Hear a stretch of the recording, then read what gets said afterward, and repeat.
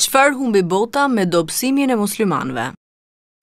Krahasoje këtë shpirt të lartë dhe të denjë që i cili nuk pranonte që dituria të shitej si mall tregu dhe që e ndjente të shenjtë besimin dhe nderin e vet, duke mos e këmbyer me asnjë përfitim apo pasuri. Me këtë keqtrajtim dhe nënvlerësim që i bëjnë sot diturisë njerëzit e dijes dhe të profesioneve.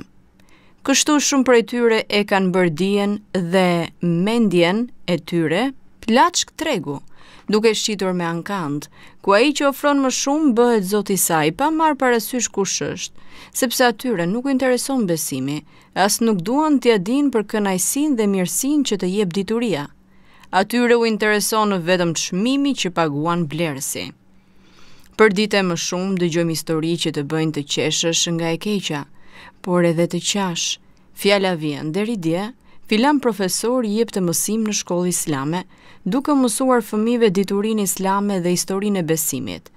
Apo të themi për aksh person i cili deri dje ishte pjesëtar i Ministrisë së Shkencave, djalë i ditur, i kulturuar dhe me pasion për studime dhe kërkime, Kur e pyetëm se çfarë i kishte ndodhur që kishte ndërruar profesionin dhe drejtimin e jetës së tij, ai na u përgjigj, Vetëm sepse në profesionin e ri fitoj 10 paund.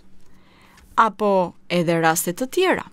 A nuk ndodh kjo pra sepse përfitimi material është gjithçka, sepse ari i shndritshëm është bërë malli i vetëm në të gjithë fushat e jetës, si dhe mbizotëruesi unik mbi shpirtin dhe logjikën? Kemi lexuar në histori që Mensuri, kalifi i njohur abasid, kërkoi nga Ibn Tausi që t'i sillte bojën për të shkruar diçka, por ky nuk pranoi. Mensuri e pyeti cili është shkaku i mospranimit dhe moszbatimit të urdhrit të kalifit të muslimanëve, dhe ai u përgjigj. Kam frikë se me të ti mund të shkruash ndonjë mëkat dhe unë mund të jem ortaku yt në të, si dhe ndihmësi yt në të keqe dhe gjynah. Ja pra deri këtu kishte arritur zbatimi prej tyre i urdhrit të Allahut. Ndihmoni njëri-tjetrin në bamirësi dhe devotshmëri dhe jo në mëkate dhe armiqësi. Ndërsa refuzimi i tyre ndaj postit të gjykatësit në një sistem që ata nuk e pëlqenin dhe nuk ishin të qetë me të, është diçka që e lexojmë shpesh në historinë e Islamit.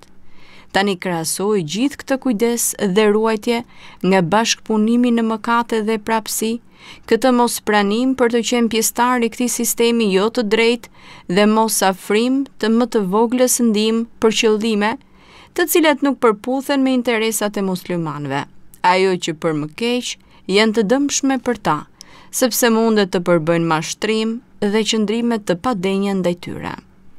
Të gjitha këto krahasojni tani me mbështetjen dhe përkrahjen që gëzojnë shtetet europiane nga muslimanët e sotëm.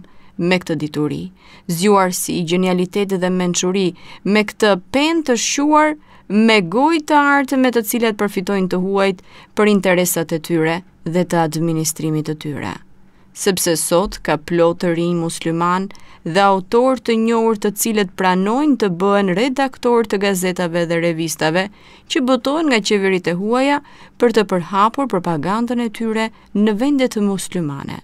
Ndikim përmes tyre në mendësinë e muslimanëve dhe logjikën e tyre, si dhe për kamuflimin dhe shtrembërimin e të vërtetës me mbështetjen e vetë muslimanëve të shitur për hiç gjë.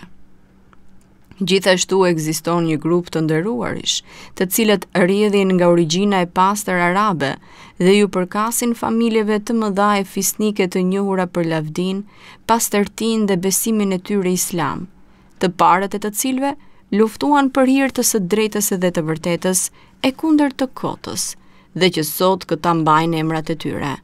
Kemi dëgjuar prej këtyre se këto shtete bëjnë përpjekje të shumta dhe fisnike në shërbim të arabizmit dhe islamit me qëllim lartësimin e çështjes së tyre se ato janë drita e lirisë vezulluese në botën që e ka pllakosur errësira vrasëse.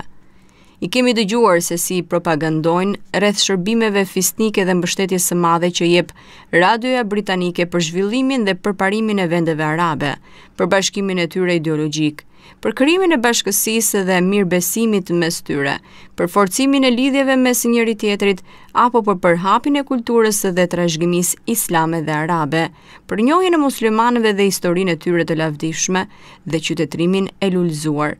njohjen e botës arabe me të vërtetat e punëve dhe çështjeve, si dhe për vazhdimësinë e ngjarjeve me pastërti dhe sinqeritet.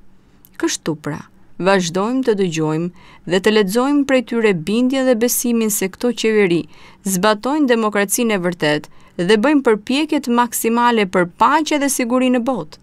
si dhe lirinë e popujve të shtypur dhe të nëpërkëmbur, si dhe të mbajtjes për tyre të flamurit të barazisë dhe të drejtësisë, si dhe të mbrojtjes së të nëpërkëmburve nxjerrjen në pah të së vërtetës, e të tjerë. E nëse këta nuk ndihen të kënaqur me atë që thonë, duke ditur se fjalët e tyre nuk janë në vendin e duhur, atëherë duhet të jemi të bindur se këtë e bëjnë vetëm për interesat e tyre materiale. Dhe sa keq na vjen për këtë rrënim të shpirtit fisnik. Ah sa keq për nënçmimin e mallit të shtrenjtë. Ah sa keq për humbjen e fjalëve plot kuptime të këndshme. Ah sa keq për gjuhën arabe me folësit e saj. E nëse këtë e bëjnë me bindje dhe me vetëdije, për atë që nënkupton atëherë sa keq që injoranca e ka mbuluar të vërtetën, sa keq që mohohet e prekshmja, sa keq që janë transformuar zemrat. Kjo është koha e të kundërtave dhe të paqëndrueshmërisë. Sot për shembull një letrar apo gazetar shkruan me plot zell një libër mbi jetën e ndonjërit prej heronjve të luftës islame apo të ndonjërit nga përtëritësit musliman, ndërsa, pa u tharë ende boja nga shkrimi i tij ai del dhe po me këtë penë shkruan vlerësimet dhe lëvdimet e tij për ndonjërin nga tradhtarët dhe mashtruesit e këtij populli, apo për ndonjë nga arritjet e të huajve vetëm për interesa politike apo përfitime materiale, duke mos e konsideruar këtë aspak kontradiktore.